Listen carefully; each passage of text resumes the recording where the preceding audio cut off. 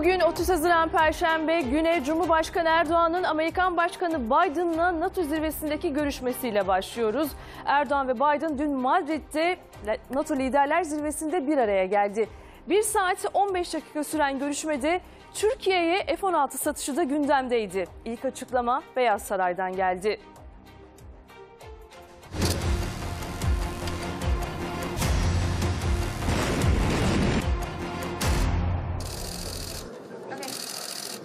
I want to particularly thank you for uh, what you did putting together the situation with regard to Finland and Sweden and all the incredible work you're doing to try to get grain out of uh, out of Ukraine and, and Russia. I mean, you're doing a great job. I just want to thank you. And I'd like to talk to you about those things we have a chance. So, Temennimiz odur denge politikalarıyla netice alalım. Bu sözlerle başladı görüşme. Cumhurbaşkanı Erdoğan'la ABD Başkanı Biden'ı İspanya'nın başkenti Madrid'de bir araya geldi.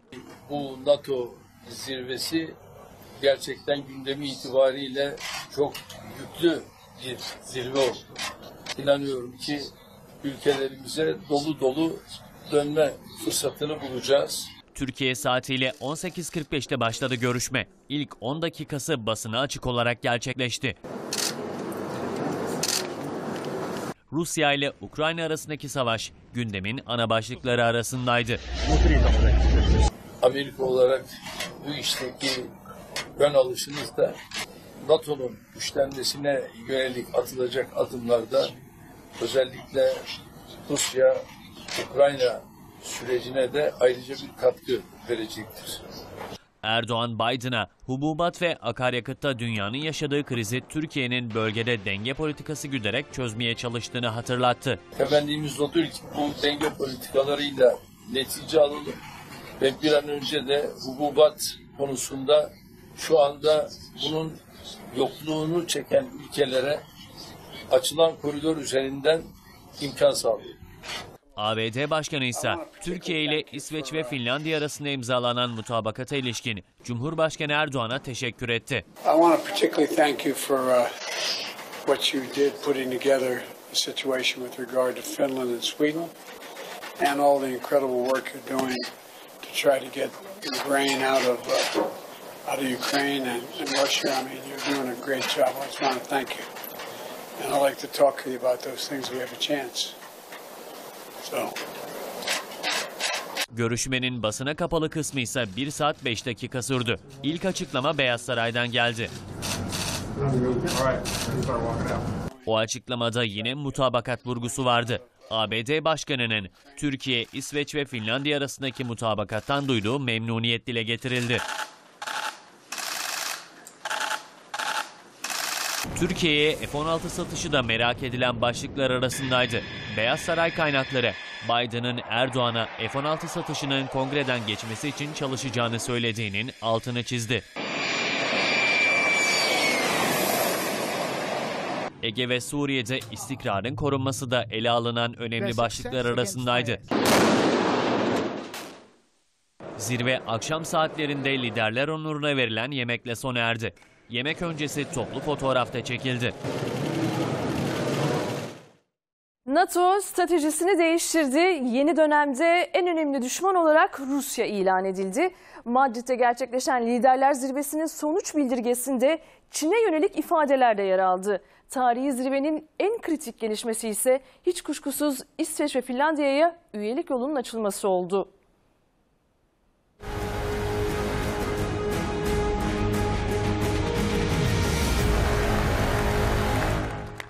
Rusya en büyük tehdit olarak nitelendirildi. İsveç ve Finlandiya ittifaka davet edildi. Today, NATO leaders took the historic decision to invite Finland and Sweden to become members of NATO.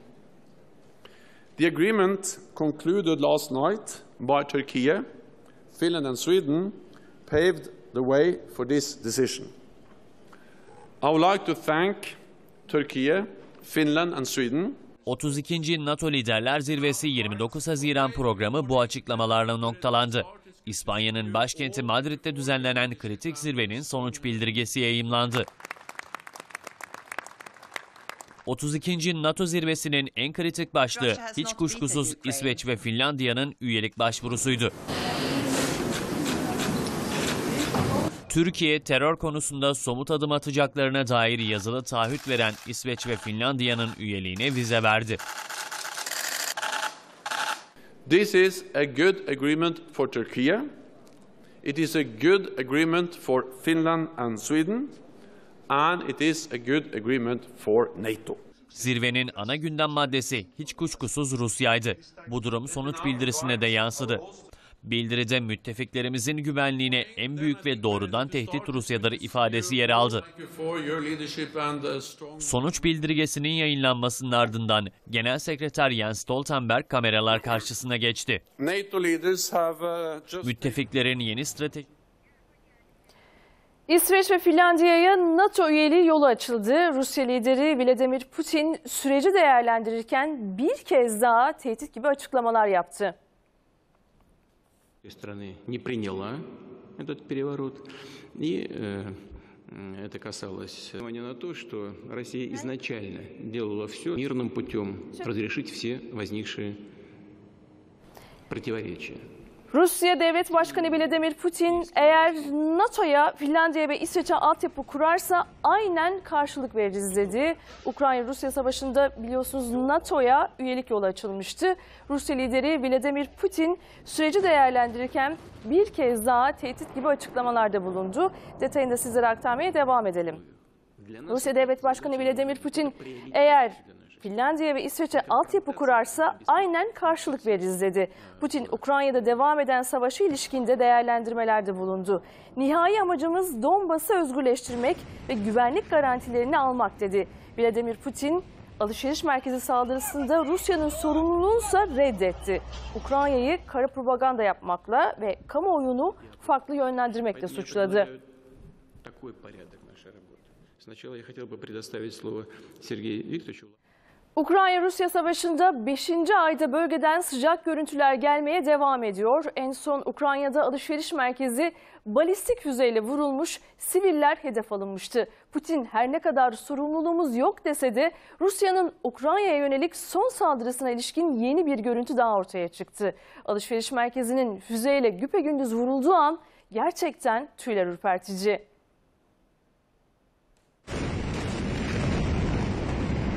Rus ordusunun attığı balistik füze alışveriş merkezini böyle vurdu.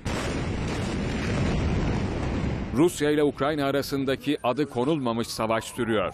Geçen pazartesi Kremenchuk kentinde içinde binden fazla kişi olan alışveriş merkezi uçurulmuştu.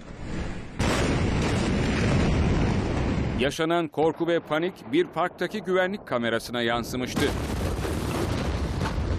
Çocuğunu kaçıranlar ve canını kurtarmak için suya atlayanlar olmuştu.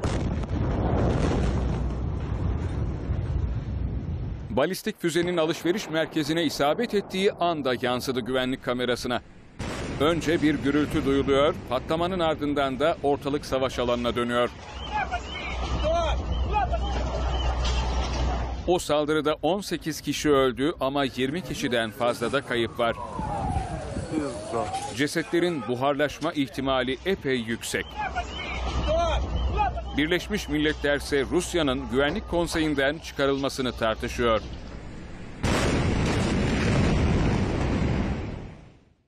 NATO'nun 32. Liderler Zirvesi'nin başrolünde hiç kuşkusuz Türkiye vardı. Türkiye, İsveç, Finlandiya ve NATO ile oturduğu diplomasi masasından büyük bir zaferle kalktı. Finlandiya ve İsveç PKK'nın bir terör örgütü olduğunu kabul etti. Yine FETÖ terör örgütü de ilk kez tanındı. Peki bu ne anlama geliyor? İşte uzmanların yorumları. Biz tabii kuru laf istemiyoruz. Biz netice istiyoruz. Artık biz orta sahada top çevirmekten bıktık. Ankara Madrid'e işte bu kararlılıkla gitti. Tavizsiz tavır masada karşılık buldu. Türkiye Madrid'deki dörtlü zirveden istediğini aldı. Türk, İsveç ve Finlandiya Dışişleri Bakanları ortak mutabakat metnini imzaladı. Şimdi alınan kararları da NATO Genel Sekreteri Stoltenberg tüm dünyaya duyuruyor. Finland and Sweden commit to fully support Turkey against threats to its national security. Bu metne baktığımızda Türkiye Cumhuriyeti çok müthiş bir diplomatik zafer elde etmiş durumda. çok önemli bir başarı var. Türkiye ilk günden itibaren net duruşuyla kazanmıştır. Türkiye sürecin başından beri Ankara kriterlerinin altını çizdi. Teröre destekse kırmızı çizgiydi. İsveç ve Finlandiya sonunda pes etti. Sokaklarında terör örgütlerinin cirit attığı iki ülkede NATO ittifakına katılabilmek için terör örgütlerine desteklerini keseceklerini Türkiye'ye yazılı olarak taahhüt etti. YPG PKK terör örgütünü kabul ettiklerine dair maddeler var içerisinde. E, onların e, özellikle kendi ülkelerinde artık propaganda yapmalarına izin vermeyecekler. Yuvalanmalarına, yatakçılık, yardakçılık yapmalarına izin vermeyecekler. Silah ve para yardımı yapmayacaklar. Bunlar hep son derece önemli taahhütler. İç hukuk devreye girecek. Daha da somutlaştırılacak e, bu metin. Açıklamalar peş peşe geldi. İsveç Başbakanı Magdalena Andersson, Türkiye ile suçluların iadesi konusunda yakın diyalog kuracaklarını açıklarken, Finlandiya Başbakanı Sauli Niinisto geri adımını taviz vermemiz gerektiği ifadeleriyle duyurdu. That was very necessary. Türkiye'nin Madrid zaferi Avrupa basınında da geniş yankı buldu. Gazete manşetlerinde üçlü muhtıra, Türkiye'nin başarısı ifadeleri yer aldı. Ekonomist Recep Tayyip Erdoğan eve zaferle dönüyor derken Guardian, Kuzey ülkeleri PKK'nın yasaklı bir örgüt olduğunu teyit etti başlığıyla okuyucularının karşısına çıktı. Alman Frankfurter Allgemeine gazetesi ise Erdoğan istediğini aldı başlığını attı. NATO zirvesinde dünya liderlerinin sıcak görüntüleri de yansıdı kameralara. Cumhurbaşkanı Erdoğan, ABD Başkanı Joe Biden'la konuştuğu sırada İngiltere Başbakanı Boris Johnson'ı işaret etti. Johnson ise Erdoğan'a Türkçe olarak çok güzelsin diyerek karşılık verdi. Erdoğan da Johnson'a aynı şekilde karşılık verince salondan kahkaha sesleri yükseldi. Çok güzel. Çok güzel.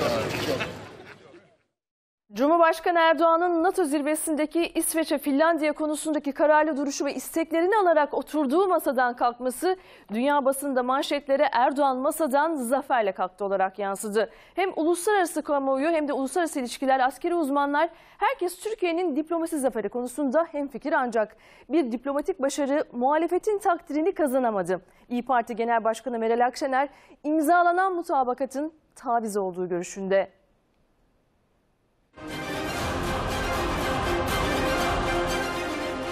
Ülkemizin çıkarlarıyla bağdaşmayan bir tavizdir.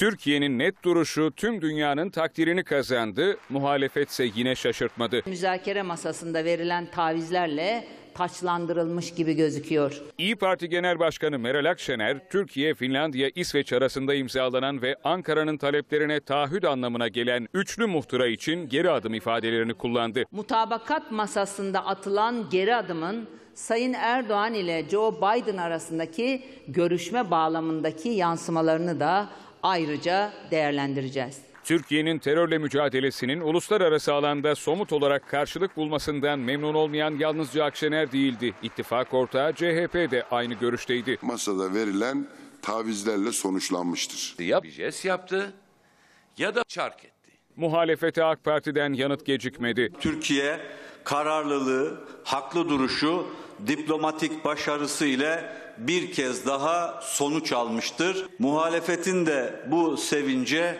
ortak olmasını beklerdik. İmzalanan mutabakat metni MHP lideri Devlet Bahçeli'den de övgü aldı. Bahçeli, Türkiye'nin tavrının karşılığını milli bir başarı olarak değerlendirdi. Güvenlik endişeleri giderilmiş, Türkiye istediğini almıştır dedi. Diğer NATO üyesi ülkeler terör örgütleriyle açık ya da kapalı bütün ilişkilerini kesmeli, PKK, PYD, YPG ve FETÖ'yü terör örgütü olarak tanımalı, NATO terörle mücadeleyi öncelemelidir.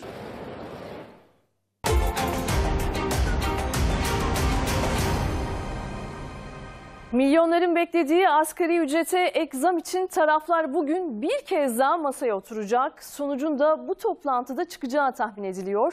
Peki asgari ücret yapılacak bu ek zamla birlikte ne kadar olacak? Net rakam henüz belli değil ancak netleşen başlıklar da var. İşte detaylar. Asgari ücretin yeniden değerlendirilmesini istedim. Komisyon çalışmalarının yarın sonuçlanacağını e, ümit ediyorum. Her yıl Aralık ayında kurulan pazarlık masası bu kez ezber bozdu. Asgari ücret tespit komisyonu ara zam için Temmuz ayında toplandı. Çalışanlar enflasyon karşısında kendi gelirlerini düzenleyemedikleri için orada sosyal devletin devreye girmesi gerekmektedir. Milyonlarca işçinin gözü işte burada Çalışma Bakanlığı'nda Asgari Ücret Tespit Komisyonu ilk toplantısı için bir araya geldi. Temmuz ayında asgari ücret ne kadar olacak bu soruya yanıt bulunacak. Yapılması şu an yani gerekli yani. İlla ki insanlar bir nefes alır. Yılbaşında asgari ücrete rekor bir oranla %50 zam yapılmıştı. Taraflar yeni oran için bir kez daha aynı masada buluştu. Enflasyon çerçevesinde asgari ücretli nefes aldıracak bir düzenleme olur diye temenni ediyorum. Hükümet asgari ücretlilere istedikleri geçim asgari geçim seviyesine çıkaracak, refah seviyesine çıkararak İlk toplantıda zam oranı değil ama iki kritik konuda mutabakat çıktı. Artış 1 Temmuz itibariyle geçerli olacak ve asgari ücretin zamlı hali de vergiden muaf tutulacak. Mamadır, bezdir, ne bileyim çok daha farklı ihtiyaçlar oluyor. O yüzden hani verilen zam %50 olması daha iyi olur. %50'lik mi olmalı sizce? Evet ben öyle düşünüyorum en azından. İşçilerin talep ettiği oran %35 ila 45 olarak değişiyor. İşverense bizi de göz ardı etmeyin diyor. Hükümet iki tarafı da memnun edecek bir oran üzerinde çalışıyor. Yine dengeli bir asgari ücret tespiti yapılması konusunda TİSK elini taşın altına koyacaktır. Gözlerse 30 Haziran'da yapılacak ikinci toplantıda. İşçi, işveren ve hükümet temsilcileri ortak bir karara varmaya çalışacak. Pazarlık masasından çıkan oran son kararı vermesi için Cumhurbaşkanı Erdoğan'a sunulacak. Asgari ücret çok yeterli olur. %40'lık bir zam. Evet, çok heyecanlıyım. Mecliste ek bütçe görüşmeleri vardı. Hazine ve Maliye Bakanı Nurettin Nebati enflasyonla mücadeleye dair önemli mesajlar verdi. Mayıs ayında ihracat rekoru kırıldığını duyurdu önce. Enflasyonla mücadelede kararlılık vurgusu yaparken bunun için gerekli donanıma sahibiz cümlesini de kurdu. Mücadelemizi kararlılıkla sürdürüyoruz ve enflasyonu kısa bir süre içerisinde düşürmeyi yine biz başaracağız. Ek bütçe görüşmelerinde yaptığı sunumda verdi mesajlarını. Hazine ve Maliye Bakanı Nurettin Nebati enflasyonla mücadele için tüm önlemlerin alındığını duyurdu. Enflasyon olumsuz etkilerinin farkındayız. Enflasyonla mücadele konusunda gerekli tecrübe ve donanıma sahibiz. Geçmişten örnek verdi Nebati. Fiyat artışlarının olumsuz etkilerini azaltmak için gerekenin yapıldığına dikkat çekti. Ülke olarak geçmişte enflasyondan çok çektik. İktidara geldiğimiz andan itibaren enflasyonla mücadele ettik ve başarıya ulaştık. Bu süreçte vatandaşlarımızın fiyat artışlarından daha az etkilenmesi için azami çabayı gösteriyoruz. Piyasada olup bitenlerin farkında olduklarını da söyleyen Bakan Nebati, gıda ürünlerine ek vergi getirilmeyeceğinin de altını çizdi. Kimsenin şüphesi olmasın. Ekonomimiz güçlenerek yoluna devam ediyor. Hedeflerin tutturulması için çarşıya, pazara ek vergi getirmeyeceğiz. Hazine ve Maliye Bakanı Nurettin Nebati kürsüde konuşurken Meclis Genel Kurulu'nda gergin anlar da yaşandı. CHP'li vekillerin Nebati'yi konuşturmama girişimi oturumu yöneten Meclis Başkan Vekili Celal Adan tarafından tepki gördü. Adan zaman zaman işi espriye bile vurdu ama çabası gerilimi düşürmeye çare olmadı. Sayın Bakan bir dakika. Niye bağırıyorsunuz? Bana bak, benim ağzımı bozdun. Sayın milletvekilleri. Meclis Genel Kurulu'nda CHP'li milletvekilleri ortalığı karıştırdı. Oturumu yöneten Meclis Başkan Vekili Celal Adan ne yaptıysa olmadı. Laf atmanın milletvekiline faydası yok. Partiye faydası yok. Bir dakika arkadaşlar ya. Değerli milletvekilleri, sayın milletvekilleri. Kürsüde Hazine ve Maliye Bakanı Nurettin Nebati vardı. Ek bütçe için konuşuyordu ki sözü CHP'li milletvekilleri tarafından defalarca kesildi. AK Parti sıralarından CHP'ye tepki gelince tansiyon yükseldi. Beyler, sayın milletvekilleri. Bir milletvekiline bir dakika bir dakika. Adan defalarca araya girdi, uyardı. Bir ara gerginliği dağıtmak için espri bile yaptı. Veli Ağababa'yı genel merkezden çağırıyorlar. Ancak AK Parti Amasya Milletvekili Hasan Çilez'le CHP Genel Başkan Yardımcısı Veli Ağbaba arasında geçen tartışma dakikalarca sürdü. Sayın milletvekilleri, Bana saygılı olmazsanız size saygılı olmam. Niye bağırıyorsunuz? Kavga edecekseniz çıkın kavga edin. Burada bağırıyorsunuz. 15 kişi araya giriyor. Tartışma tam bitti derken bu kez CHP Grup Başkan Vekili Engin Altay bozdu sessizliği. Ne? Bana bak. Benim ağzımı bozdurma. Kimsin sen bana sus diyorsun? Sen kimsin? Gel. Gel. Gel. Bana sus diyemezsin sen. Oradan hakaret edemez kimse bir CHP milletvekiline. Böyle dedi ama CHP'li milletvekillerinden AK Parti sıralarına hakaretler yağdı. CHP'li vekiller AK Parti Genel Başkan Vekili Numan Kurtulmuş'u da çileden çıkardı. Ben babamın 80 senelik evinde oturuyorum, şerefle oturuyorum ve kendi kişiliğimi koruyorum. Gelelim ana muhalefette patlak veren dolarla vekillik skandalına. Olay yaratan iddiaların kaynağı olan Aykut Erdoğdu ve eşi Tuğba Turun CHP'den istifa etti. Açıklama CHP Genel Merkezi'nden geldi ancak o açıklamada torpil ya da dolarla vekillik gibi iddiaların yer almaması dikkat çekti.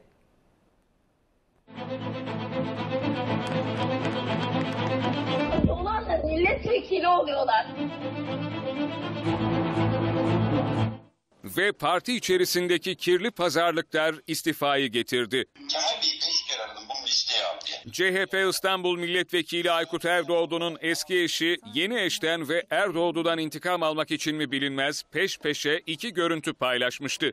Görüntülerin birinde Erdoğdu eşi Tuğba Torun'u parti meclisine sokmak için hem Kılıçdaroğlu'ndan hem de kurmaylarından torpil yapılmasını istediğini ima ediyordu.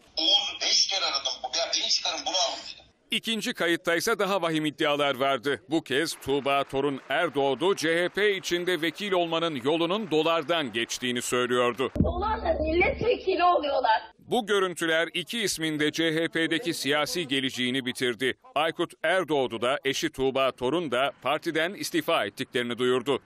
İstifalar genel merkez tarafından kabul edildi ama iddialar hala ortada duruyor. Ne torpil yapmakla itham edilen Kemal Kılıçdaroğlu ve kurmayları o iddiayı yalanladı ne de genel merkezden dolarla milletvekilliği iddiasının yalan olduğuna dair bir açıklama geldi. Ve sırada günün manşetleri var. İlk gazetemiz Sabah. Sabah gazetesinin manşetinde NATO zirvesi var. NATO zirvesinden Cumhurbaşkanı Erdoğan, Amerikan Başkanı Biden ve İngiltere Başbakanı'nın olduğu bir fotoğraf karesi manşette yer alıyor. Erdoğan evine zaferle döndü. Manşeti de var ilk sayfada detaylarını aktaralım. Madrid'e imzalanan mutabakatın ardından Türkiye'nin İsveç ve Finlandiya'nın vetosunu kaldırması NATO zirvesine damga vurdu. Dünya basını ise şu başlıkları attı. İngiltere ekonomist Cumhurbaşkanı Erdoğan evine zaferle dönüyor. İsrail Haaretz, Türkiye NATO zirvesinden istediğini aldı. The Guardian, Kuzey ülkeleri önemli bir taviz vererek PKK, PYD, YPG'ye destek sağlanmayacağını teyit etti dedi. Fotoğraf karesiyle ilgili bir alıntı da var, onu da aktaralım sizlere. Erdoğan ve Biden'ın konuşurken yanlarına İngiltere Başbakanı Johnson yaklaşıyor ve Johnson'la arasındaki o sohbet karesi sonrasında işte bu fotoğrafta Sabah gazetesinde ilk sayfada manşette yer bulmuş durumda. NATO zirvesinden önemli bir fotoğraftı ve hemen devam edelim. Alt tarafta Evcil'de ele geçirilen dudak uçuklatan servetle devam edelim. Biliyorsunuz geçtiğimiz günlerde Ankara'da bir operasyon düzenlenmişti. Demir Yumruk operasyonuydu. Suç örgütü lideri Evcil'in adreslerinde 500 milyon liranın üzerinde para ve ziynet eşyası ele geçirildi. Fabrikalarında olduğu 261 taşınmaza 8690 hesaba da yine el kondu. Ve bir diğer haber biraz önce detayını vermiştik. Skandalı örtbas istifası İstanbul Milletvekili Aykut Erdoğdu'nun ortaya çıkan telefon görüşmesi sonrasında iki isim de hem eşi hem de Aykut Erdoğdu istifa etmişti. İşte ona dair bir haber var. Eski eşin ifşa ettiği skandalla ilgili e, sorular cevapsız kaldı denmiş. Ve sıradaki gazetemiz Hürriyet. Hürriyet'e de hızlıca bakalım. Manşette yine Cumhurbaşkanı Erdoğan'ın sohbetinden bir fotoğraf yer alıyor. Türkiye kazandı manşetiyle. Cumhurbaşkanı Erdoğan, Amerikan Başkanı Biden ve İngiltere Başbakanı Boris Johnson o fotoğraf karesinde yer alıyor. Kritik bir zirveydi ve Türkiye o NATO zirvesinden zaferle kalktı. Detaylarının üzerinden hızlıca kısaca geçelim. Avrupa basını NATO zirvesinde varılan uzlaşmayı Türkiye'nin başarısı olarak yorumladı. Türkiye'nin İsveç ve Finlandiya'ya NATO'da uyguladığı vetoyu kaldırması karşılığında aldığı taahhütlerle siyasi kazanım elde ettiği vurgusu var. Amerika'dan F-16 sinyali de var yine. Biden'la görüşmenin ardından ortaya çıkan bir diğer gündem maddesi ise F-16'lardı. Hemen onlara da bakalım. NATO'daki uzlaşmanın ardından Amerika Birleşik Devletleri'nin olası F-16 satışına yönelik olumlu sinyaller geldi. Savunma Bakan Yardımcısı Türkiye'nin F-16 filosu için planları destekliyoruz açıklamasında bulundu. Ve NATO zirvesinden sel felaketine gidelim. Dere değil otel yanlış başlığı var alt tarafta detaylarını aktaralım. Bu fotoğraf karesi Düzce'den geldi. Ee, yeni bir tesis aslında henüz kullanıma açılmadı ama maalesef dere yatağına yapıldığı için daha kullanıma açılmadan bakın o otel ne hale geldi. Bununla ilgili e, önemli bir görüntü aslında. Sel felaketinde mühendisler derenin değil otelin yeri yanlış dedi. E, bu da önemliydi kanuna aykırı çünkü. Uzmanlar otelin ve konutların taşkın riski yüksek olan yerlerde inşa edildiğini söyledi. Taşkın riski yüksek alana inşaatın izninin yasal olmadığının altını çizdi. Artık doğru yere bina yapmayı öğrenmeliyiz dedi. Dere değil ama otelin yanlış olduğu da işte bu fotoğraf karesiyle ekranda. Ve Kurban Bayramı tatili 9 gün oldu biliyorsunuz. Hem kurbanlıklar hem de tatili konuşuyoruz şimdi. Detaylarına bakalım. Önce kurban fiyatlarıyla başlayalım. İstanbul'da kurban pazarları gezildi. Kurban pazarlarında en ucuz kurbanlık 2500 lira. En pahalı kurbanlık ise 60 bin lira. Geçen yıla göre fiyatlar %100 arttı ve kurbanlıkların %70'inin de satıldığı söyleniyor. Ve son doluluk oranı %90 aştı haberiyle devam edelim hemen. Hürriyet'te bir üstte Kurban Bayramı tatili Cumhurbaşkanı Erdoğan açıklamasının ardından kabine toplantısı ile birlikte 9 gün olduğu açıklanmıştı. İşte o 9 günlük bayram tatilinde tur şirketlerine, otellere rezervasyon yağıyor. Doluluk oranı %90'ı aşmış durumda ve bir sonraki gazetemiz Milliyet'e geçelim bu haberin ardından. Bugün tüm gazetelerin manşetlerinde aslında dünyada NATO zirvesinin ayrıntıları ilk sayfada yer buluyor. Yine Türkiye'nin zirvesi olduğu manşeti var. Cumhurbaşkanı Erdoğan'ın aynı fotoğraf karesi de yine Milliyet gazetesinde yer alıyor. Finlandiya ve İsve- İsveç resmen NATO'ya davet edildi. Cumhurbaşkanı Erdoğan ikili görüşmeleri Türkiye'nin yaktığı yeşil ışık altında yapıldı denmiş. Ve hemen diğer tarafta 500 milyona demir yumruk indirildi. Önemli bir operasyondu. Erol Evcil ve suç örgütlerini düzenlenen operasyonda ele geçirilenler büyük e, operasyonla o çetede çökertildi. Yine bu da e, ilk sayfada yer alıyor. Bununla birlikte Milliyet Gazetesi'ni bitiriyoruz ve şimdi İngiltere'ye gideceğiz. İngiltere'de evin etrafını çit çeken bir işçi kullandığı makine gaz borusunu patlattı ve bakın sonrasında neler yaşandı.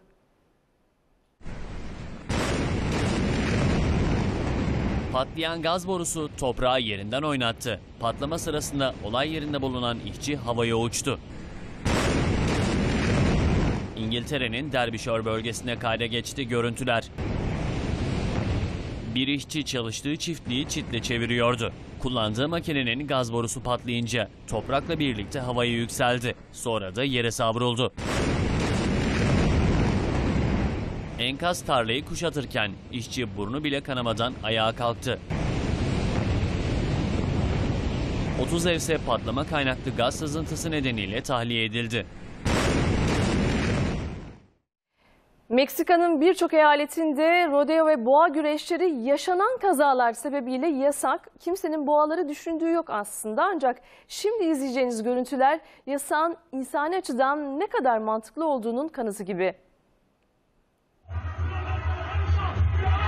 Rodeo'yu bu kez boğa kazandı. Meksika'da kapının açılmasıyla rodeocunun zor anları başladı. Boğanın sırtında sadece 10 saniye dayanabildi. Kaskı da vardı ama boğa sakinleşecek gibi değildi. Dikkatini dağıtmaya çalışanlara rağmen rodeocunun özellikle sırtına gelen darbe ağır yaralanmasına yol açtı. Hastaneye de kaldırıldı ama kurtarılamadı. Yaşanan kaza ve ölümler sebebiyle Meksika'nın birçok yerinde rodeo ve boğa güreşi etkinlikleri yasak. Distopyaların en ilgi çeken konularından biri de dünya yaşanmaz hale gelirse insanın ne yapacağı. Hatta bu konuda efsaneler arasına girmiş yapımlar da var. Şimdi izleyeceğiniz Uçan Otel'de o efsanelerden biri olabilir. Zira dev uçak 5000 yolcusuyla yere inmeden uçuş yapabilmeyi vaat ediyor. Tabii hayaller gerçek olursa.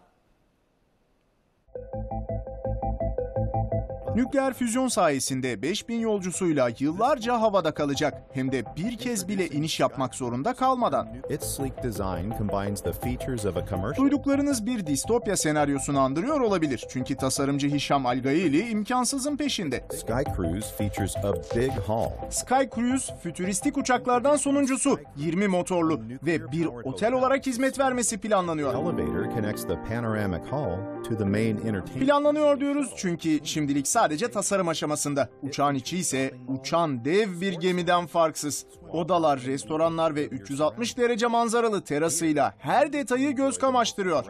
The main entertainment deck is perfect. Manzaranın tadını çıkarmak için terasa çıkmak zorunda da değilsiniz. Dev uçakta 3 ayrı noktada mini balkonlar da olacak. Here, guests can enjoy a wide range of Yıllarca havada kalabilme imkanını yani sonu gelmez enerjiyi nükleer füzyon sağlayacak. Yakıt yerine uçakta bir nükleer reaktör olduğunu düşünebilirsiniz. A small nuclear reactor uses highly controlled Tabii uçuş süresi hayal sınırlarını zorlayınca tasarıma bir alışveriş merkezi, tiyatrolar, yüzme havuzları ve spor salonları bile dahil edilmiş. business meetings. Benzersiz bir hikayeyle evlenmek isteyenler için elbette düğün organizasyonları da düzenleniyor uçan otelde. Gelelim uçak korkusu olanlara. Ya uçak türbülansa girerse sorusunu tasarımcılar yanıtlıyor. Yapay zeka ile koordine çalışan GPS sarsıntıyı en aza indirmeye odaklanacak. Sağlık sorunu yaşayanlar için uçakta geliştirilmiş bir MR cihazı bile var. İyi de bu uçak inmiyorsa ayrılmak isteyenler ne yapacak sorusunun yanıtı da distopik. Çünkü uçan otelde pek de minik olmayan bir jet bile var.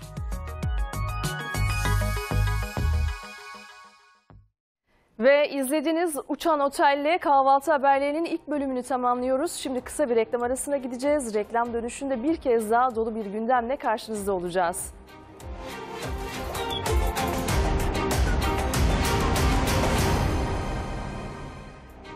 Kahvaltı haberlerinin yeni saatine Cumhurbaşkanı Erdoğan'ın Amerikan Başkanı Biden'la NATO zirvesindeki görüşmesiyle başlıyoruz. Erdoğan ve Biden dün Madrid'deki NATO Liderler Zirvesi kapsamında bir araya geldi. 1 saat 15 dakika süren ve ilk 10 dakikası basına açık olarak gerçekleşen görüşmede Türkiye'ye F-16 satışı da gündemdeydi. İlk açıklama Beyaz Saray'dan geldi.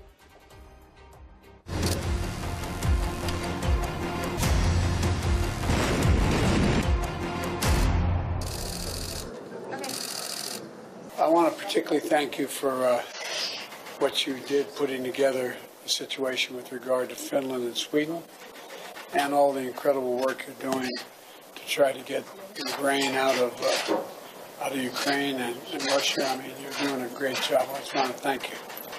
And I'd like to talk to you about those things we have a chance. So, denge politikalarıyla netice. Bu sözlerle başladı görüşme. Cumhurbaşkanı Erdoğan'la ABD Başkanı Biden'ı İspanya'nın başkenti Madrid'de bir araya geldi. Bu NATO zirvesi gerçekten gündemi itibariyle çok yüklü bir zirve oldu. İnanıyorum ki ülkelerimize dolu dolu dönme fırsatını bulacağız. Türkiye saatiyle 18.45'te başladı görüşme. İlk 10 dakikası basına açık olarak gerçekleşti. Rusya ile Ukrayna arasındaki savaş gündemin ana başlıkları arasındaydı. Amerika olarak bu işteki ön alışınız da NATO'nun güçlenmesine yönelik atılacak adımlarda özellikle Rusya, Ukrayna sürecine de ayrıca bir katkı verecektir. Erdoğan Biden'a hububat ve akaryakıtta dünyanın yaşadığı krizi Türkiye'nin bölgede denge politikası güderek çözmeye çalıştığını hatırlattı. Temennimiz odur ki bu denge politikalarıyla netice alalım ve bir an önce de hububat konusunda şu anda bunun yokluğunu çeken ülkelere açılan koridor üzerinden imkan sağlıyor. ABD Başkanı ise Türkiye ile İsveç ve Finlandiya arasında imzalanan mutabakata ilişkin Cumhurbaşkanı Erdoğan'a teşekkür etti. Uh, what you did putting together the situation with regard to Finland and Sweden and all the incredible work you're doing to try to get grain out of uh, out of Ukraine and Russia. I mean, you're doing a great job. I just want to thank you. And I'd like to talk to you about those things we have a chance. Görüşmenin basına kapalı kısmı ise 1 saat 5 dakika sürdü. İlk açıklama Beyaz Saray'dan geldi. O açıklamada yine mutabakat vurgusu vardı. ABD Başkanı'nın Türkiye, İsveç ve Finlandiya arasındaki mutabakattan duyduğu memnuniyet dile getirildi. Türkiye'ye F-16 satışı da merak edilen başlıklar arasındaydı. Beyaz Saray kaynakları Biden'ın Erdoğan'a F-16 satışının kongreden geçmesi için çalışacağını söylediğinin altını çizdi. Ege ve Suriye'de istikrarın korunması da ele alınan önemli başlıklar arasındaydı. Zirve akşam saatlerinde liderler onuruna verilen yemekle sona erdi. Yemek öncesi toplu fotoğrafta çekildi. Ve NATO stratejisini değiştirdi. Yeni dönemde en önemli düşman olarak Rusya ilan edildi. Madrid'de gerçekleşen liderler zirvesinin sonuç bildirgesinde Çin'e yönelik ifadeler de yer aldı. Tarihi zirvenin en kritik gelişmesi ise hiç kuşkusuz İsveç ve Finlandiya'ya üyelik yolunun açılması oldu.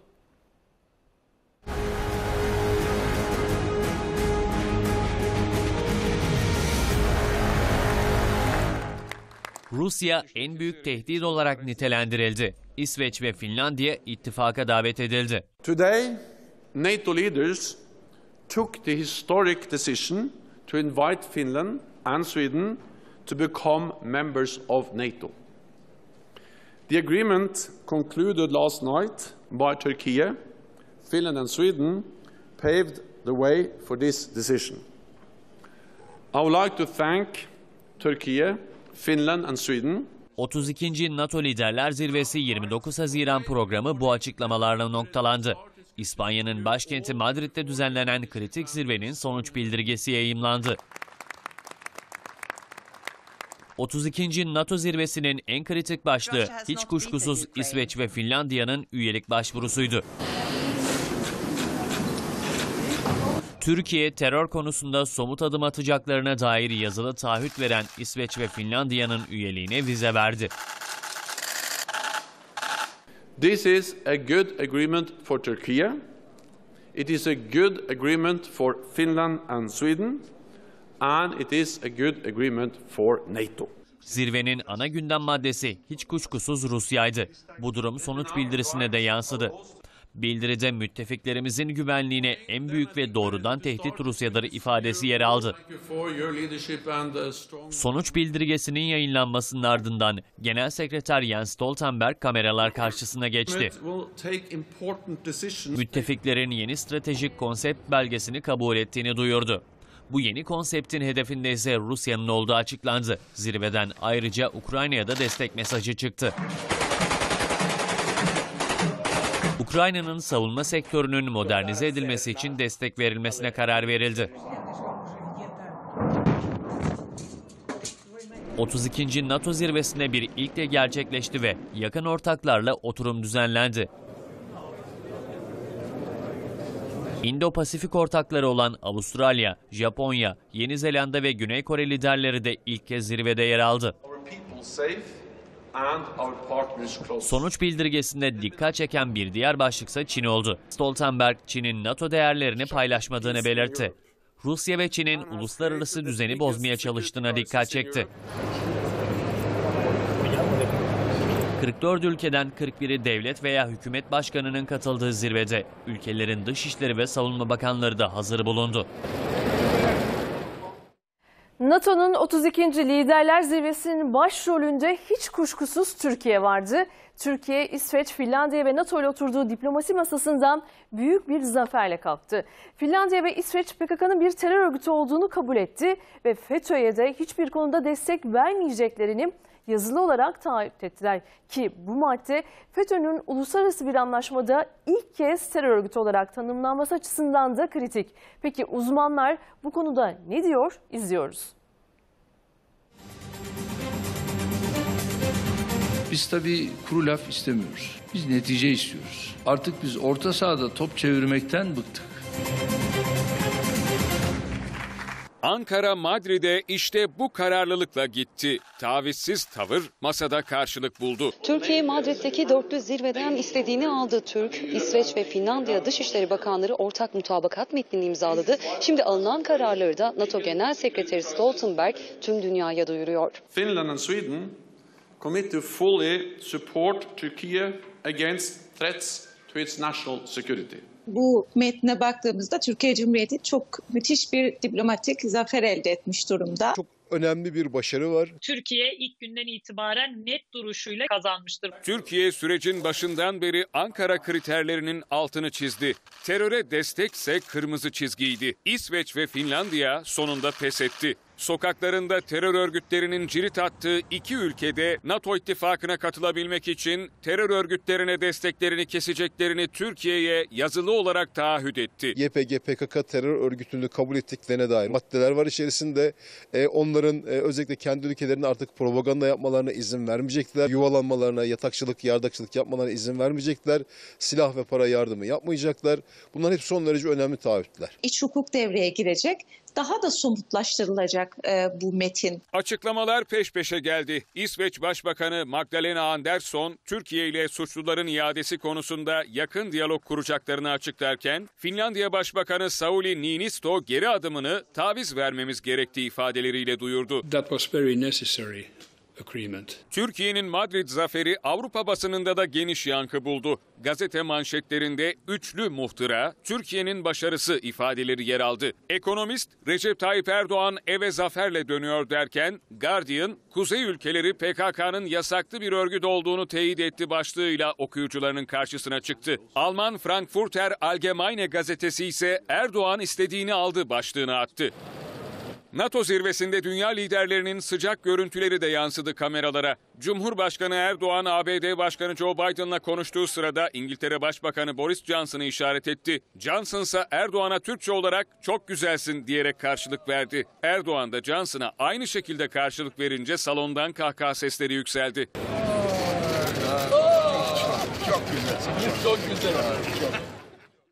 İsveç ve Finlandiya'ya NATO üyeliği yolu açıldı. Rusya lideri Vladimir Putin süreci değerlendirirken bir kez daha tehdit gibi açıklamalar yaptı. Rusya Devlet Başkanı Vladimir Putin eğer NATO, Finlandiya ve İsveç'e altyapı kurarsa aynen karşılık veririz dedi. Putin, Ukrayna'da devam eden savaşı ilişkinde değerlendirmelerde bulundu. Nihai amacımız Donbas'ı özgürleştirmek ve güvenlik garantilerini ele almak dedi. Vladimir Putin bir alışveriş merkezi saldırısını Rusya'nın sorunun olmadığını da iddia etti. Ukrayna'yı kara propaganda yapmakla ve kamuoyunu farklı yönlendirmekle suçladı.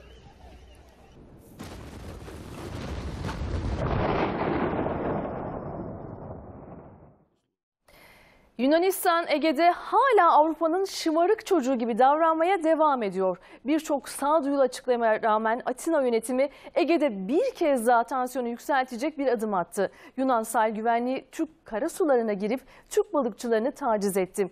Gergin anlarda kameralarda kayıttaydı. Nereye geliyor nereye? Yunan askeri Türk karasularına girdi, dümeni balıkçı teknelerinin üzerine kırdı.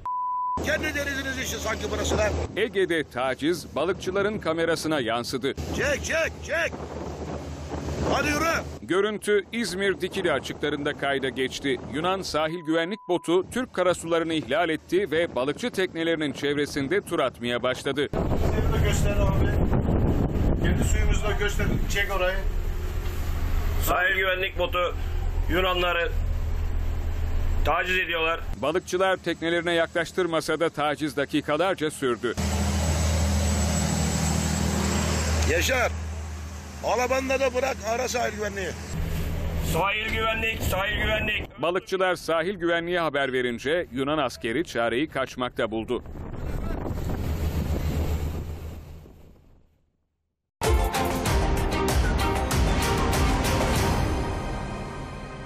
Milyonların beklediği asgari ücrete ek zam için taraflar bugün bir kez daha masaya oturacak. Sonucun bu toplantıdan çıkacağı tahmin ediliyor. Peki asgari ücret yapılacak bu ek zamla birlikte ne kadar olacak? Net rakam henüz belli değil ancak netleşen başlıklar var. İşte detaylar. asgari ücretin yeniden değerlendirilmesini istedim. Komisyon çalışmalarının yarın sonuçlanacağını e, ümit ediyorum. Her yıl Aralık ayında kurulan pazarlık masası bu kez ezber bozdu. Asgari ücret tespit komisyonu ara zam için Temmuz ayında toplandı. Çalışanlar enflasyon karşısında kendi gelirlerini düzenleyemedikleri için orada sosyal devletin devreye girmesi gerekmektedir. Milyonlarca işçinin gözü işte burada Çalışma Bakanlığı'nda Asgari Ücret Tespit Komisyonu ilk toplantısı için bir araya geldi. Temmuz ayında asgari ücret ne kadar olacak bu soruya yanıt bulunacak. Yapılması şu an yani gerekli yani. İlla ki insanlar bir nefes alır. Yılbaşında asgari ücrete rekor bir oranla %50 zam yapılmıştı. Taraflar yeni oran için bir kez daha aynı masada buluştu. Enflasyon çerçevesinde asgari ücretli nefes aldıracak bir düzenleme olur diye temenni ediyorum. Hükümet asgari ücretlilere istedikleri geçim asgari geçim seviyesine çıkaracak, refah seviyesine çıkararak İlk toplantıda zam oranı değil ama iki kritik konuda mutabakat çıktı. Artış 1 Temmuz itibariyle geçerli olacak ve asgari ücretin zamlı hali de vergiden muaf tutulacak. Mamadır, bezdir, ne bileyim çok daha farklı ihtiyaçlar oluyor. O yüzden hani verilen zam %50 olması daha iyi olur. %50'lik mi olmalı sizce? Evet ben öyle düşünüyorum en azından. İşçilerin talep ettiği oran %35 ila 45 olarak değişiyor. İşverense bizi de göz ardı etmeyin diyor. Hükümet iki tarafı da memnun edecek bir oran üzerinde çalışıyor. Yine dengeli bir asgari ücret tespiti yapılması konusunda TİSK elini taşın altına koyacaktır. Gözlerse 30 Haziran'da yapılacak ikinci toplantıda. İşçi, işveren ve hükümet temsilcileri ortak bir karara varmaya çalışacak. Pazarlık masasından çıkan oran son kararı vermesi için Cumhurbaşkanı Erdoğan'a sunulacak. Asgari ücret çok yeterli olur. %40'lık bir zam. Evet, çok heyecanlıyım.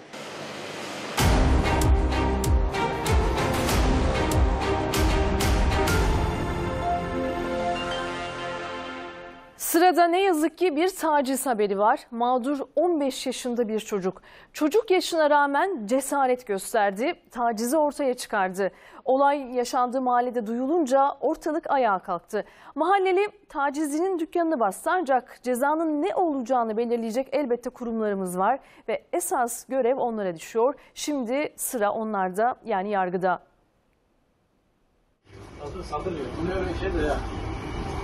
Ne yaptı? Mahalle şu anda çok şokta. Allah yardım etsin. Yani hiç bekleyelim, beklemediğimiz bir şeydi. Yaşadığı kabusu anlatırken bile boğazı düğümleniyor. Dinleyense ne soracağını bilemiyor. Ne yaptı?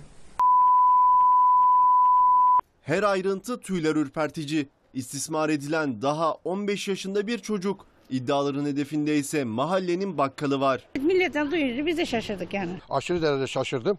Yani dükkana bile gitmek istemedim yani. O mide bulandırıcı görüntüler avcılardaki bu markette kaydedildi. Market işletmecisi 15 yaşındaki bir çocuğu aleni bir şekilde taciz etti. Taciz ise çocuğun gizli telefon kaydıyla ortaya çıktı. Tacizi belgelemek isteyen çocuk gizlice kayıt tuşuna bastı. İnanması zor ama o anlarda market sahibi müşterisi gittikten sonra istismarı sürdürdü. Başka bir şey yaptı mı? Yaptı. Ne yaptı? Sonra bacaklarımı açtı. Bir tane küçük çocuk varmış. Ona taciz edilmiş bakkalcı tarafından. Videoları videoları da yayıldı zaten. Adamlar 4 senedir buradalar yani. Hiçbir kötülüğünü duymadık, görmedik adamları. Ne yaptı? Sabahleyin ben bu olayı duydum. Şok oldum. Hiç beklemiyordum. Mahallenin bakkalı yıllardır tanıyoruz yani iyi bir insan. Çocuk da burada yaşıyormuş. Görüntülerin ortaya çıkmasıyla birlikte mahalle sakinleri sinirli bir şekilde darp etmeye markete geldi. Market işletmecisini darp etmeye başladılar. Gece yarısı araya polis girdi son anda kurtarıldı. Ailene niye gitmiş ya da polisi? Tanıyorum abi de beni falan. Linçten polisin araya girmesiyle kurtarılan şüpheli şimdi gözaltında. 5-6 tane adam geldi saldırdılar. Lanet lanet bir şey yani. Bu tip insanlara yaşatmayacaksın abi ne dersen de. Otoyoldaki çarpışma ölüm getirdi. Bolu'da seyir halindeki iki otomobilin karıştığı kazada iki kişi hayatını kaybetti. Sürücüler ise kazadan yaralı olarak kurtuldu. Bariyerler paramparça oldu. Otomobil ise hurdiye çıktı. Feci kazada iki kişi hayatını kaybetti. Bolu'da Tem Otoyolu Yedigöller bölgesinde meydana geldi kaza. İki otomobil seyir halindeyken çarpıştı. Araçlardan biri savrulduğu bariyeri paramparça etti. Çarpmanın şiddetiyle hurdiye dönen otomobil ancak karşı şeritte durabildi. Olay yerine sağlık ve itfaiye ekipleri sevk edildi. Jandarma ve polis de yol güvenliğini sağladı. İki kişinin hayatını kaybettiği kazadan yaralı kurtulan sürücüler ise hastanede tedavi altında. Kazaya ilişkin soruşturma sürüyor. Motosikletle çoluk çocuk seyir halinde olan bir ailenin dikkatsizliği az kalsın ölümle bitiyordu. Motosikletin sepetinden yola düşen çocuğu arkasından gelen minibüsün şoförünün dikkati kurtardı.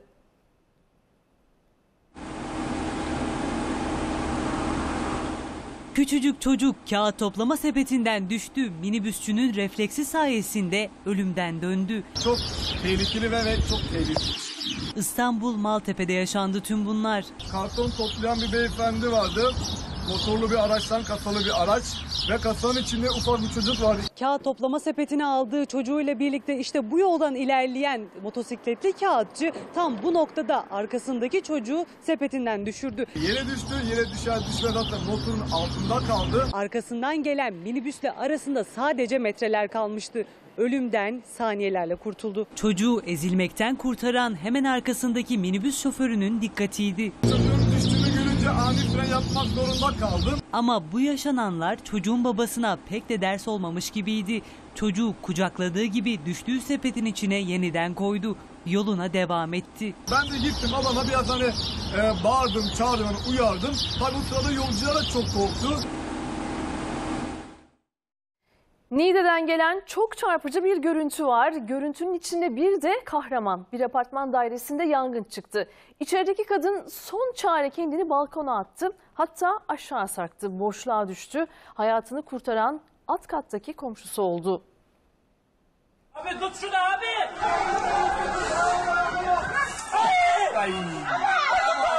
Alevlerden kaçarken balkonundan atladı, alt komşusu 3 çocuk annesi kadını ölümün pençesinden böyle kurtardı. Niğde'de yaşayan Afgan ailenin evinde yangın çıktı. Alevler kısa sürede tüm mutfağı sardı. Üç çocuk arka odada, anneleri ise balkonda mahsur kaldı. Alev kapanına kısılan kadın çaresiz kendini balkondan aşağı sarkıttı. Bir süre sonra gücü tükendi. Tam aşağı düşerken alt komşusu onu havada yakaladı. Evdeki üç çocuğu ise itfaiye kurtardı. Baba üçü de kurtarıldı. Bizim başka bir çocuk var mı? Ölümden dönen anne ve üç çocuğu hemen hastaneye kaldırıldılar. Dün sabah 13 ilde geniş çaplı bir operasyon vardı. Polisin hedefi ise Türkiye'nin en önemli yeraltı örgütlerinden biri olan Sarallar Çetesi'ydi. Gözaltına alınan 117 şüpheli arasında en dikkat çekici isim ise iş adamı Erdal Acar'dı. Çete lideri olduğu iddia edilen İlyas Saral'a gelince aranıyor.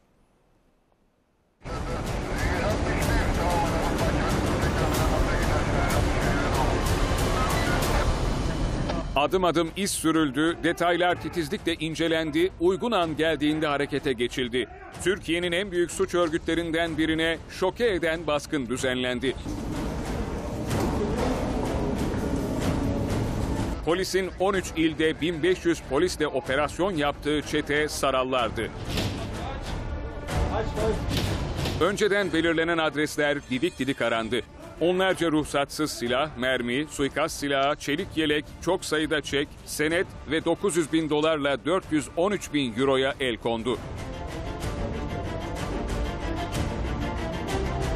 Yağma, kişiyi hürriyetinden yoksun kılma, kasten yaralama ve silahlar kanununa muhalefetle suçlanan 117 kişi gözaltına alındı. Gözaltına alınanlardan en dikkat çekeni iş adamı Erdal Acar oldu. Acar'ın çete elebaşı sıfatıyla yakalandığı bilgisi paylaşıldı. Sarallar çetesinin lideri olan kamuoyunda Alaaddin Saral olarak bilinen Firari İlyas Saral'ın yakalanması için çalışmalarsa devam ediyor.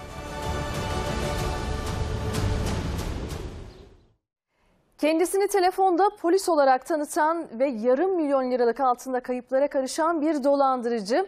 Hikaye oldukça tanıdık. Hemen her hafta benzer bir haber geliyor ancak bu defa haberin konusu polisin titiz çalışması. Çünkü o dolandırıcının adını sanını bilen yoktu ama polis onu aracından dışarıya attı. içecek kutusundaki parmak izinden buldu.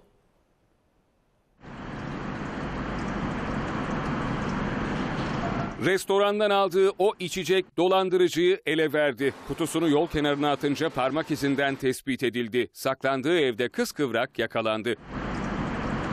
22 yaşındaki dolandırıcının çok sayıda suç kaydı vardı. Hedefindeki kişilere kendisini polis veya savcı olarak tanıtıyordu. Kendisine polis üssü veren dolandırıcı son olarak Çanakkale Yenici ilçesindeki bir vatandaşı dolandırdı. Daha sonra kayıplara karıştı. 500 bin lira değerindeki altınları alan dolandırıcı bir taksiyle Balıkesir'e doğru yola çıktı. Yol kenarında durduğu bir restorandan da içecek aldı. O anlarda kameralarda kayıttaydı. Polis ise 95 kilometre iz sürdü.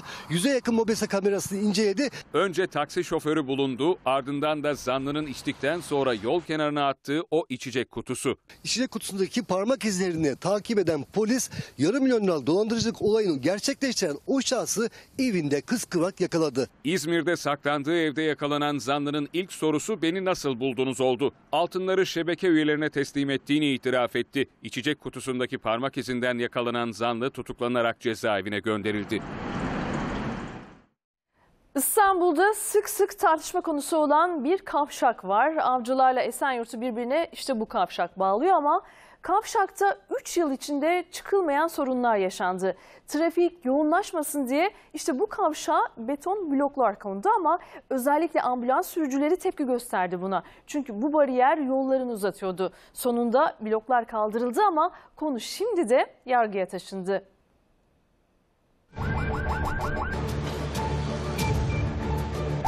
Yoğun bakma sevkimiz var.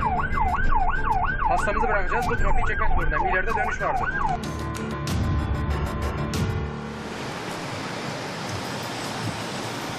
Taşlar olmasa 30 saniye sonra buradayım. Şu anda? Şu an en az 10 dakika ileri gitmek zorundayım. Bu kavşak önce taşlarla kapatıldı, tepki gelince açıldı ama çözüm olmadı yeniden kapatıldı. Tartışma bitmeyince devreye bilirkişi girdi. En az günde 7 kilometre aşağıdan dönüp geliyoruz abi. Avcılar ile Esenyurt arasında 4 tane taş var. 1, 2, 3, 4. Bu 4 taş 3 yıldır mesele olmuş durumda. Bir kaldırılıyor, bir buraya konuluyor.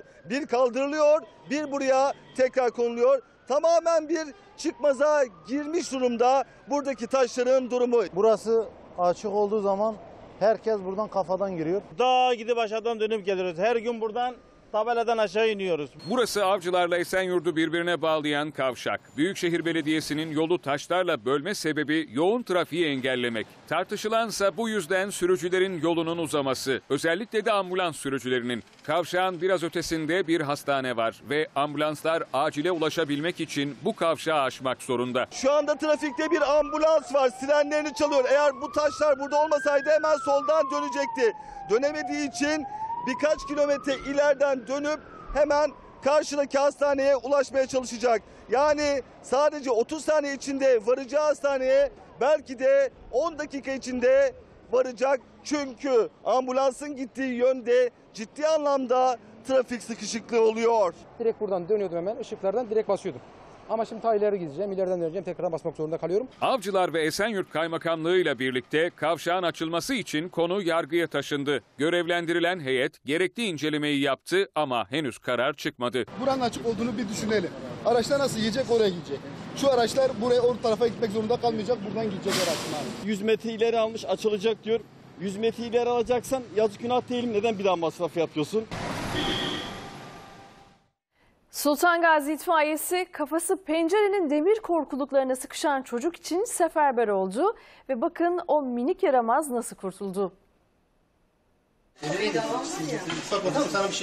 Küçük çocuğun evden firar etme girişimi kabusu oldu. Anne babası işte Ensar ablasıyla birlikte evdeydi. İddiaya göre kapı da kilitliydi. Kafan şurada dursun, ileride dursun. Hiç oynamasın tamam mı? 7 yaşındaki Ensar pencereye çıktı, korkulukların arasından geçti. Ama parmaklıklar arasındaki boşluktan başını geçiremedi. Yardımına komşular koştu ama tek yapabildikleri küçük çocuğun altına bir sandalye koymak oldu. Ensar'ın derdine derman olansa itfaiye oldu. Görevliler önce küçük çocuğu sakinleştirdi, sonra da demirleri esnetip onu sıkıştığı yerden çıkardı.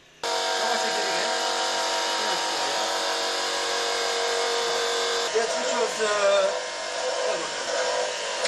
Kurtarılmayı beklerken son derece soğukkanlı görünen Ensar kabus bittikten sonra gözyaşlarını tutamadı. Hiçbir şey olmaz ki. Ağlamayacağım, ağlama. Hadi eve gidelim eve. İngiltere'de evinin etrafına çit çeken bir işçinin kullandığı makine gaz borusunu patlattı. İşçi çalıştığı makineyle birlikte havaya savruldu. İşte o anlar.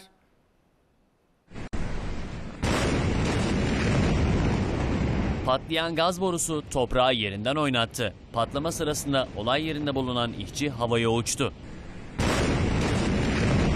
İngiltere'nin Derbyshire bölgesine kayda geçti görüntüler.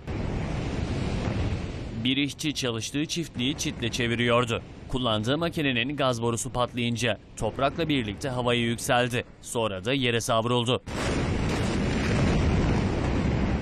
Enkaz tarlayı kuşatırken işçi burnu bile kanamadan ayağa kalktı.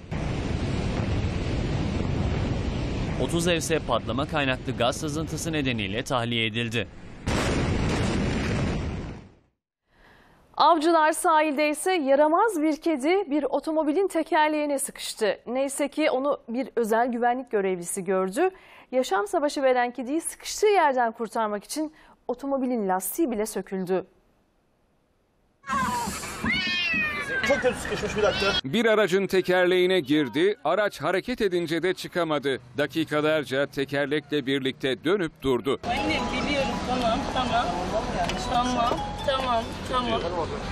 Tamam anneciğim. Tatil için yola çıkan çift Avcılar sahil yolunda bir güvenlik görevlisinin uyarısıyla durdu. Yanımızdan geçen araç söyledi. Sonra da yavru kediyi kurtarmak için seferberlik başladı. Ne olur abi gelin müdahale etmeniz lazım. Hayvanı uyutmamak için zaten zor uğraşıyorum. Yavru kedi aracın jantına sıkışmıştı. Pat diye düşerse kafası kalacak arada. Araç sahipleri onu çıkarmayı başaramayınca devreye itfaiye girdi. Ekip yavru kedinin zarar görmemesi için büyük bir titizlikle çalıştı.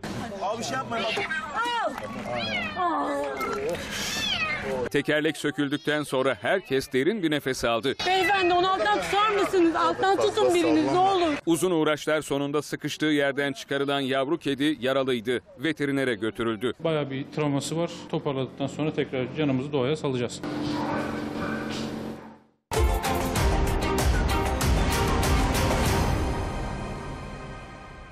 Liseye geçiş sınav sonuçları açıklandı. Sınava 1 milyon 31 bin 799 öğrenci girmişti. 193 öğrenci tüm soruları doğru yanıtlayarak 500 tam puan aldı. Öğrencilerin %9.93'ü 400'e 500 puan aralığında yer aldı. En yoğun puan aralığı ise 200 ile 299 arası oldu. Peki bu sonuçlar bize neyi gösteriyor? Bundan sonrasında tercih dönemi başlayacak. Nelere dikkat etmek gerekiyor? Akademisyen ve eğitim uzmanı Can Uysal bizimle birlikte. Hoş geldiniz yayına. Hoş bulduk, günaydın. Biraz önce açıklandı sonuçlar. Evet. İşte 193 öğrenci tüm soruları doğru yanıtladı. 500 tam puan aldı dedik. Bu rakamlar bize neyi gösteriyor bu sınav sonuçlarıyla ilgili? Ee, bir kere 193 öğrencinin 48 farklı ilden e, Türkiye şampiyonu olması çok çok güzel bir şey. Farklı illere dağılımı gösteriyor. Sadece büyük şehirlerden değil 48 tane farklı ilden Türkiye şampiyonu çıkması çok büyük bir başarı. O evlerde eminim şu an çok büyük heyecan, çok büyük sevinç vardır. Ee, şunu unutmayalım, şu an çok ciddi performans gösterilmesi gereken bir döneme geçiş yapıyoruz. Tercih dönemine. 4 Temmuz'a kadar özel okullar taban puanlarını açıklayacaklar ve asil listelerini oluşturacaklar. Şu an puanı aldık. Bugün sabah itibariyle artık Maraton e, başlıyor. maraton başlıyor. Değil mi? Tablolarımızı yapmamız lazım. Neye dikkat edecekler? Şimdi geçen seneyle kıyasladığınız zaman bu Evet. sene için ne Bu söyleyebilirsiniz? sene bir kere matematik ve fende bir artış var. Genelde bizim alışık olmadığımız Değil bir mi? yıl Daha bu çok yıl. sözelde olur. Evet, genelde sö- sözel tarafta daha Türkçe'de, sosyalde olurken bu sene Türkçe'de eleyici sorular oldu ilginç bir şekilde. Buna çok dikkat etmesi gerekiyor öğrencilerin. Çok çok kıymetli bir bilgi. Ee, ikincisi de kesinlikle ben hep şunu savunuyorum. Kendilerini tanımaları gerekiyor. Hangi lisenin onlar için bir sonraki adımda yüksek öğretime doğru basamak olacağını anlamaları, o lisenin kültürünü gerçekten araştırıyor olmaları gerekiyor. Ee, çok özel bir dönem başladı. Puanlara e, kesinlikle ve kesinlikle kanmasınlar. Sıralama, başarı sıralaması çok önemli. Hep yüzdelik dilimlerden bahsediyoruz. Buraya odaklansınlar. Çünkü nitelikli lise dediğimiz, bana göre bütün eğitim kurumları niteliklidir ama daha ön tarafta olan 100 okuldan sadece 12 tanesi görülüyor Türkiye'de. Burada kendilerine uygun liseyi tercih etmeleri çok önemli. Araştırmaları çok önemli. Tercih dönemini çok iyi planlamalılar. Mutlaka ve mutlaka uzmanlardan destek almalılar. Peki bu tercihlerde kaç tane okulu seçebiliyor öğrenciler? O değişiyor. Yani biliyorsunuz önce bir e, özel okullara bir süreç gelişecek. Bir de e, insanlar şunu karıştırabiliyorlar. YKS tarafındaki gibi, ÖSYS tarafındaki gibi bir kere işte tercih yapıyoruz, ondan sonra giriyoruz. LGS tarafında tercihler böyle değil. Birinci, Birinci. kayıtlanmalar gerçekleşiyor, sonra ikinci kayıtlanmalar gerçekleşiyor, üçüncü kayıtlanmalar gerçekleşiyor. Çok çok çok iyi takip edilmesi gerekiyor işlerin. Şimdi sı- puan sıralamasından bahsettiniz. Evet. Dikkate alın dediniz. Kesinlikle. Mesela ne kadar üst yani hep derler ya. Evet, Üst sıralara gönlünüzden geçeni yazın. evet. Ee, belki olabilir bir ihtimal diye. Sonrasında alt aşağıya indikçe puanınıza yakın olanları tercih edin diye. Doğru bir Ya ben ifade hep mi bu? şunu savunuyorum. Hayatım boyunca da hep bunu e, savundum. Bir işi seviyorsanız, bir liseyi seviyorsanız, bir üniversiteyi seviyorsanız önce gönlünüzün akması gerekiyor. O zaman okula da gitmemiş gibi hissediyorsunuz. Yani gerçekten böyle bir zorunluluk olmuyor. E, Ben hep şunu söylüyorum. Zaten öğrencilerin belli hedefleri oluşuyor. Sınav maratonu sırasında belli hayalleri kurmaya başlıyorlar. İşte benim hedefim Kabataş diyor. Benim hedefim İstanbul Erkek Lisesi diyor. Birçok güzide okulu zaten kafasında şekillendiriyor. Artık şu anda tamamen tercih performansına odaklanmaları gerekiyor. Gönlündeki e, liseleri tabii ki yazsınlar ama e, gerçekçi de olsunlar. Çünkü bu yıl sıralamalarda büyük sürprizler gelebilir. Özellikle matematik ve fen e, tarafında farklılaşmaların olması, Türkçenin eleyici, diyecektim. evet kesinlikle çok ciddi anlamda e, fark ettirecektir. O yüzden çok çok çok dikkatli olsunlar, çok iyi araştırsınlar. Peki siz bir akademisyen ve eğitim uzmanı olarak e, tercih sıralaması yapılırken öğrencilerin ya da anne babaların yaptığı Evet. en büyük hatayı ne olarak görüyorsunuz? Ee, zorlama. Yani biz e, şöyle şunu çok fazla hissediyoruz. Genelleme yapmaktan ben çok kaçınırım ama biz yapamadığımız şeyleri, kazanamadığımız liseleri daha çok çocuğumuzu yönlendirerek sanki bizmişiz gibi hareket etmekten keyif alan bir toplum olduk. Ee, bunu kesinlikle yapmalarını tavsiye etmem. Doğru iletişim her şeyin anahtarı. Evladımızla doğru iletişim, eşimizle, ailemizle bu bir üçlü sacaya doğru bir eğitim uzmanıyla oturup değerlendirerek en iyi şekilde, en verimli şekilde tercih yapmalarını tavsiye ederim. Şimdi 4 Temmuz galiba son değil mi? Ee, özel okullar için 4, 4 Temmuz. Temmuz. Evet. O ilk kayıtlanmalar İlk ama kayıtlanmalar. süreç devam edecek. Ee, yani ciddi anlamda ikinci kayıtlanmalar olacak, üçüncüler olacak. Çok iyi takip etmeleri gerekiyor. Bunun üstüne çok duruyorum. Evet. Ee, defalarca söylüyorum lütfen kusura bakmayın. Estağfurullah olur mu? Çok iyi takip etmeleri gerekiyor. Hayaller hayallerindeki okullarda hiç ummadıkları kontenjanlar Açılabilir e, açılabilir. Lütfen çok iyi takip etsinler. Nasıl yapsınlar peki o başvuruları? Ee, yani puanları kısas aldığımız zaman neye dikkat etsinler? Kılavuz zaten çıkıyor. Evet. Kılavuzu e- ellerine aldıklarında e, tarihler, detaylar, her şey hangi okulun geçmiş e, yıldaki neler yaptığı, taban puanlarını, sıralamalarını her şeyi görecekler zaten. çok çok çok iyi incelesinler kılavuzu. Sadece öğrencilerimiz değil, ailelerimiz de çok iyi incelesin. Ailelerle, çocuklarla birlikte büyük bir sınav veriyor sonuçta. Tabii bir de e, bugün lise geçiş sınav sonuçları açıklandı ama bir de beklediğimiz üniversite sonuçları var. Evet. Heyecanla öğrenciler bekliyor. 20 Temmuz'da puanlar açıklanacak. Bu Bekleyin. yıl ilk kez baraj yok. Evet. Bu nasıl yansıyacak? Ya inanılmaz e, bir yıl. Ben e, bu yıldan önce daha doğrusu tercih dönemi gelmeden önce hep şey diyordum etrafındaki insanlara. Ya inanılmaz şeylere gebe bir yıl. E, barajın olmaması bir kere boşta kalan, geçmiş yıllarda boşta kalan özellikle devlet üniversitelerindeki kontenjanların ciddi anlamda dolmasını sağlayacaktır.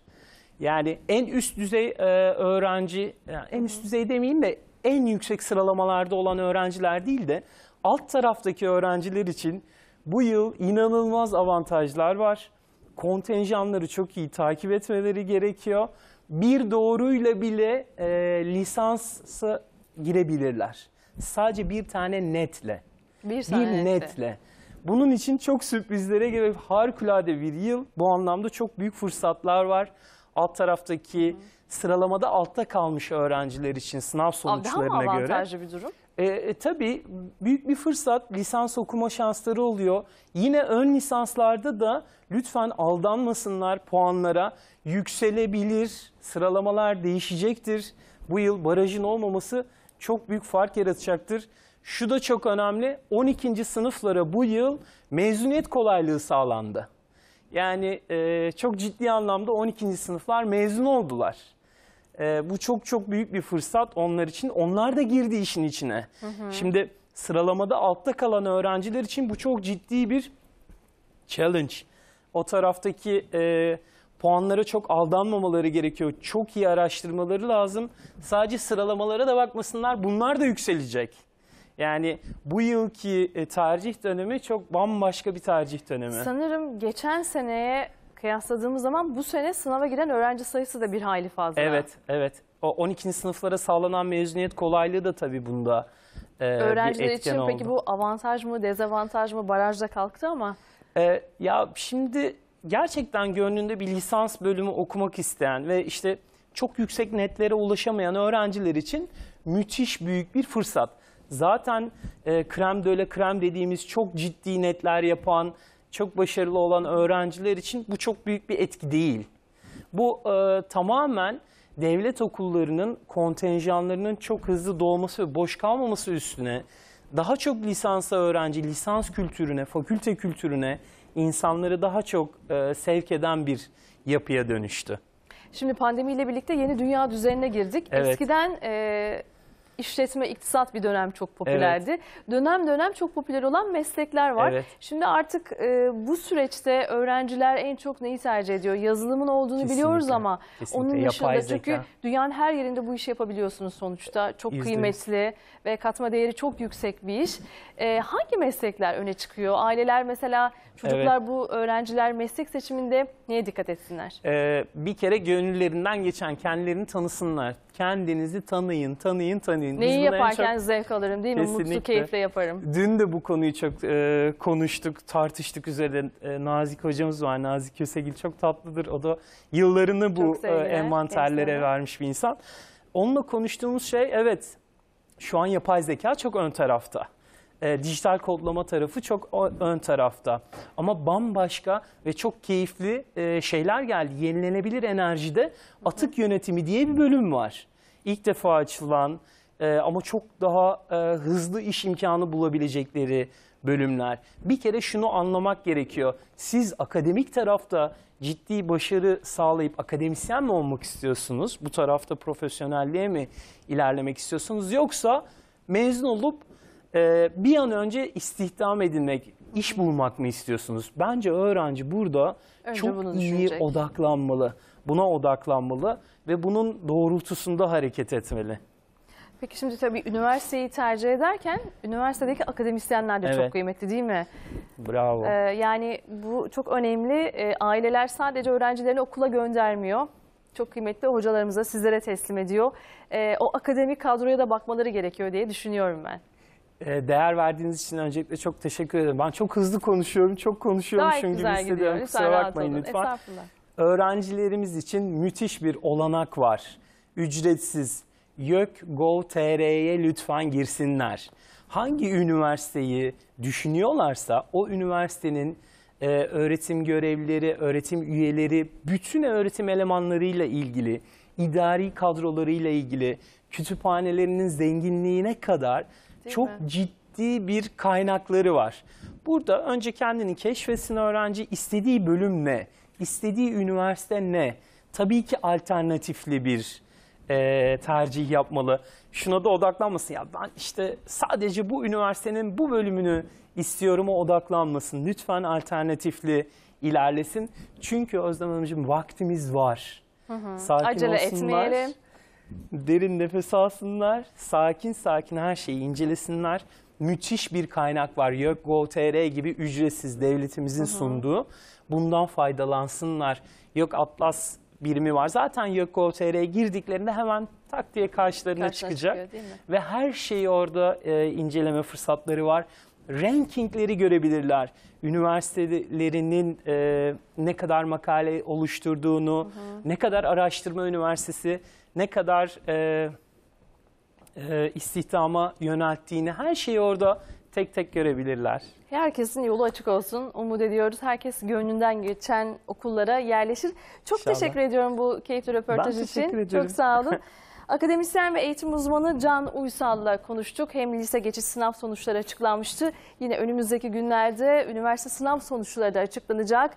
Ve bu noktada neler yapılması gerekiyor, nelere dikkat edilmesi gerekiyor onlardan bahsettik ve sıradaki habere geçiyoruz.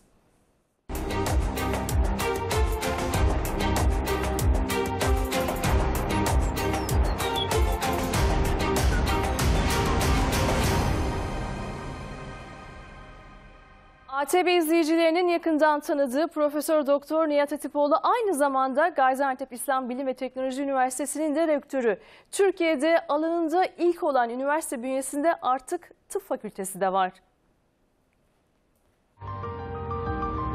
Tabii tıp fakültesi üzerinde çok duruyordum çünkü İslam bilim ve teknolojinin beraber yürüyebileceğinin en güzel ispatlarından biriydi. Gaziantep İslam Bilim ve Teknoloji Üniversitesi Tıp Fakültesine kavuştu. YÖK'ten iznimizi aldık. Bu sene inşallah e, yeni sezonda 60 öğrenci ile e, başlayacağız. Gaziantep İslam Bilim ve Teknoloji Üniversitesi eğitim hayatına 2019 yılında başladı. Profesör Doktor Nihat Hatipoğlu ise o üniversiteye rektör olarak atandı. Bu iki buçuk sene içerisinde ekibimizin tümünü tamamladık. İslam bilimleri açtık. Üniversitede birçok bölüm mevcut. E, Mühendislikle ilgili, sağlık bilimleriyle ilgili, güzel sanatlarla ilgili zaten çalışmalarımız devam ediyordu. Şu anda öğrenci sayımız 2000 üzerinde. Ekibimiz bütün donanımıyla e, Gaziantep'e ve Türkiye'nin geneline hizmet edecek ve kadınlarımızı rahatlatacak olan bölümleri açmaya çok büyük gayret gösterdim. İşte Sağlık Bilimleri Fakültesini bundan dolayı açtık. E, ebelik, hemşirelik ve diğer bölümleri harekete geçirdik. Tıp Fakültesi de üniversite bünyesinde bu yıl açıldı. Çok önemli bir şehir Gaziantep. Bir üniversitenin dışında aynı zamanda bir tıp fakültesini kazandırmaktan dolayı son derece mutluyuz, gururluyuz. YÖK'ten iznimizi aldık. Bu sene inşallah e, yeni sezonda 60 öğrenci ile e, başlayacağız. Tıp Fakültesi Doktor Ersin Arslan Eğitim ve Araştırma Hastanesi ile birlikte çalışacak. Büyük bir hastane. Ee, orada da tabii ki e, arkadaşlarımız şu anda görevdeler. Ayrıca üniversite içerisinde KYK yurdu da mevcut. Hayır, devlet üniversitesi. Yani devletimiz böyle bir hizmeti de, hizmetin de kapısını açtı. Onun için öğrencilerimiz burayı tercih ederken e, orada bir aile havasını bulacaklar. Pandemi sebebiyle mehter gösterileri de ertelenmişti. Vakaların azalması ve yazın gelmesiyle hasret bitti. Topkapı'daki gösteriyi yerli ve yabancı turistler büyük bir hayranlıkla izledi.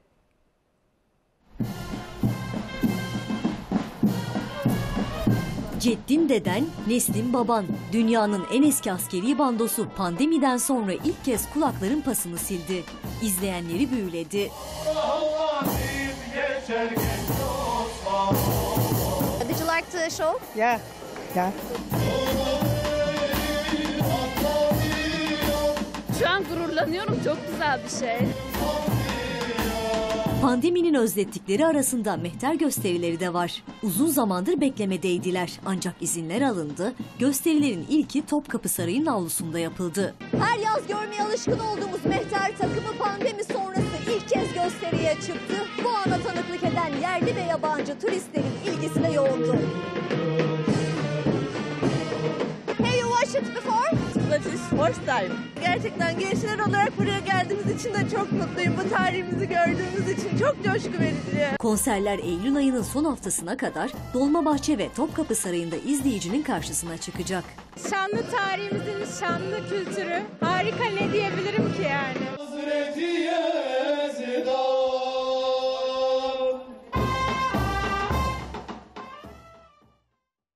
Her ne kadar yağışlar devam etse de tatil ve yaz sezonu çoktan başladı.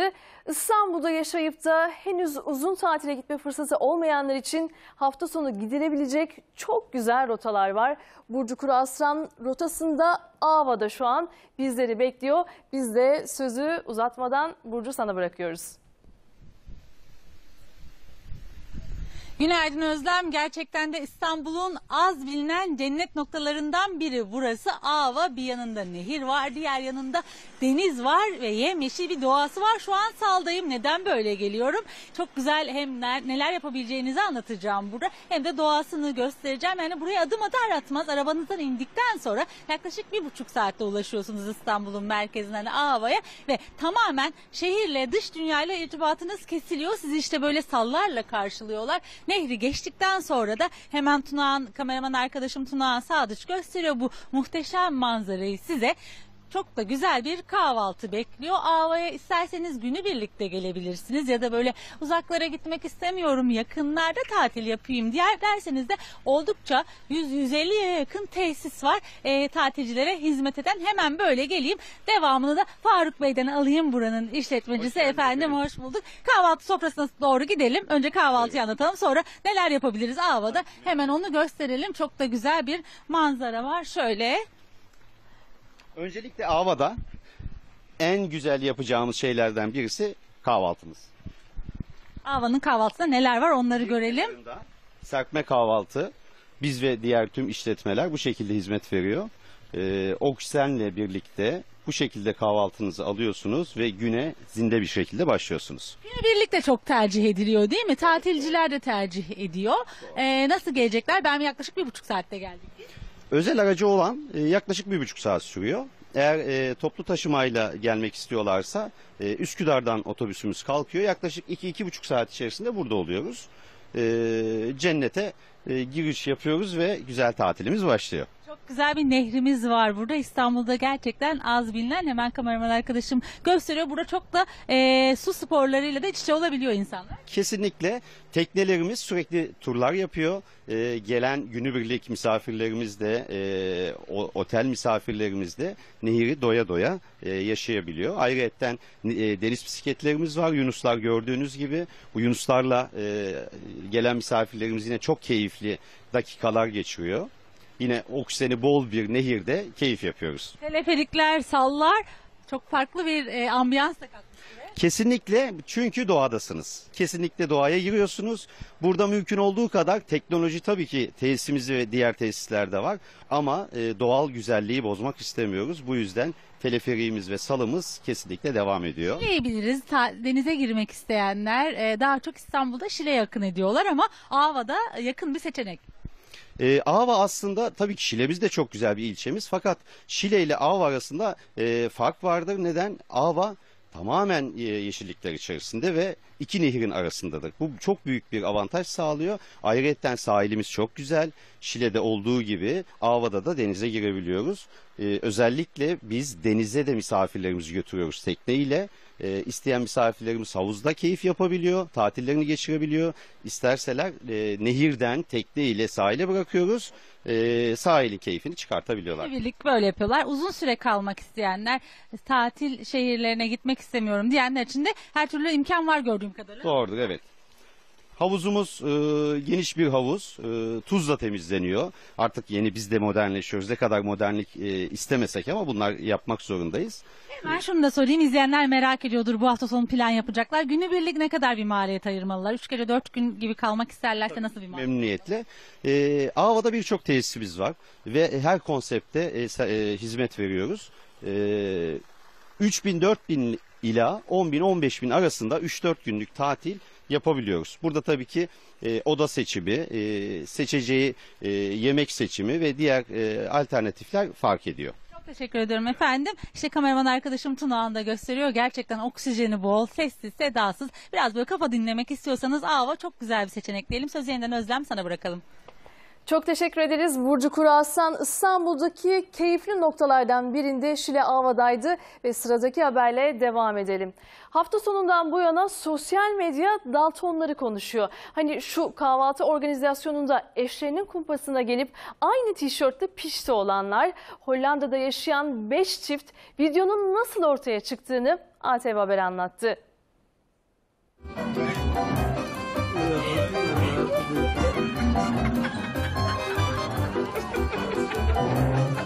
Allah canınızı alıyor. Biz sadece kendi aramızda eğlence olsun diye çektik ve koyduk. Hesabımı açtığım anda patladı gitti. Beşi birden aynı tişörtü giydi. Merhaba. Biz Daltonlar ve eşlerim. Daltonlar şakası tüm sosyal medyayı gülümsetti.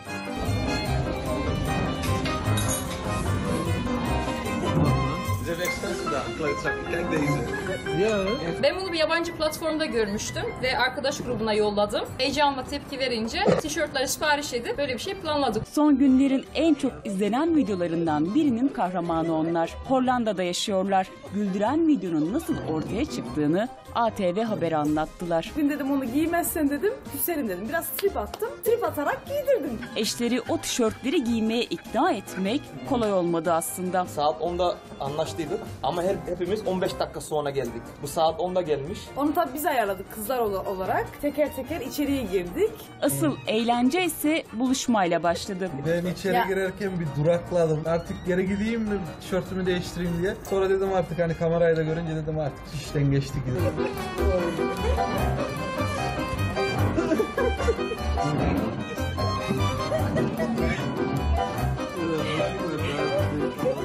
Olan oldu. Olan oldu. Ondan sonra pişti oldu.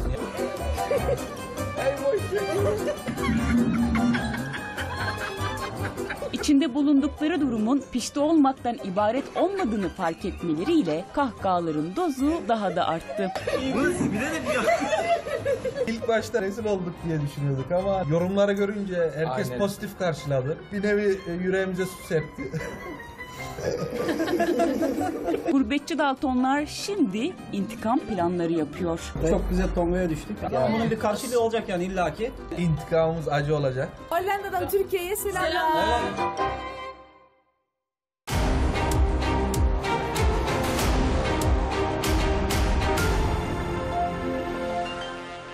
Sıcak bir gelişmeyi aktaralım. Dünyada hızlıca yayılan maymun çiçeği hastalığı Türkiye'de de görüldü. Haberi Sağlık Bakanı Fahrettin Koca sosyal medya hesabından duyurdu. Açıklamada Bakan Koca 37 yaşında bağışıklık sistemi yetersiz bir hastada bu maymun çiçeği hastalığının tespit edildiğini söyledi.